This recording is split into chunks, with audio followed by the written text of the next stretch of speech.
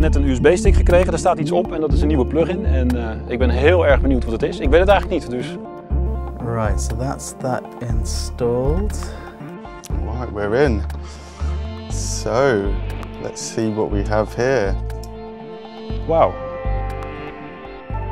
Oh, dit is heel vet dit. Awesome. Uh, ga ik gelijk al... Als ik enthousiast word, dan zeg ik het te hard. Dat is niet goed voor mijn speakers. This thing's great. I really like it. I think this is going to get used a lot in my mixes. Dat, dit, uh, dat deze plugin door ons in ieder geval heel veel gebruikt gaat worden. A very, very cool plugin. I can see myself using it a lot when it comes out.